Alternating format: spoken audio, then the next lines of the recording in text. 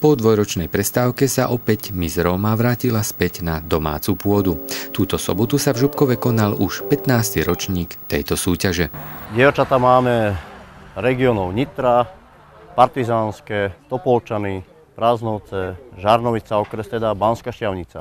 Vybratý bolo viacej oveľa dievčat, len neviem, či až financie, alebo neviem, jednoducho odhlasili sa na poslednú chvíľu jednej, dobre, jednej mala umrtie v rodine, to sme pochopili, ale ostatné, neviem, či sa zlakli, ja neviem, rodičia, peniazmi náročné alebo nenáročné, neviem.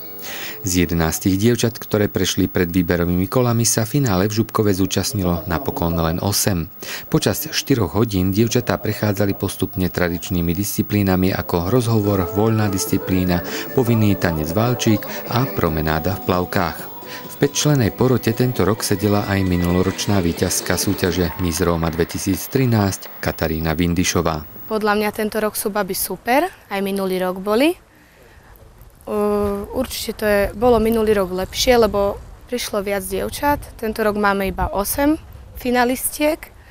Mám už takú jednu, dve vytipované, ktoré si by to mohli vyhrať, ktoré by to mohlo, mohli byť, ale podľa mňa sú všetky úžasné a hlavne sa prišli zabaviť a spoznať nových ľudí, takže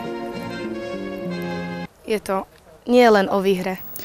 Po dlhšej prestávke porota nakoniec predsa len dospela k výsledku a určila tohtoročnú výťazku.